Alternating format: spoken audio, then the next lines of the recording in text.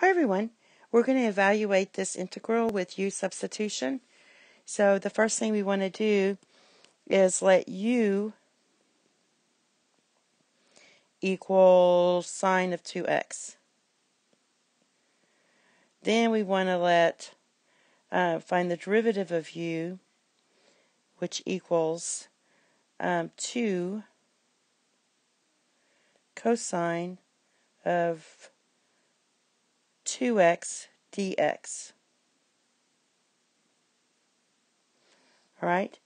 Then you can rewrite this as, because I'm just uh, differentiating this right here, you can write this as 1 half, if I multiply through, du equals cosine 2x dx.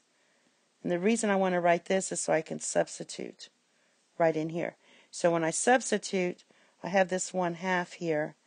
Well, I'll just use that in a minute. So basically, I'm going to do u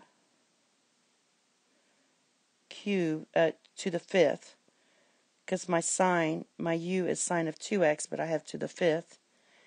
And then cosine of 2x is du, or 1 half du. So that's going to be du but I'm going to bring this one half out front. All right, so all I'm doing is substituting each of these pieces. This piece goes together here. Now let's write it again. So we have one half integral of um, u to the fifth du. Now, so we're substituting into the integrand, and we get that. Evaluating, therefore, means we're going to have put the one half then we're going to do this piece. So that's going to be u to the 6th over 6 plus c, which equals uh, u to the 6th power divided by 12 plus c.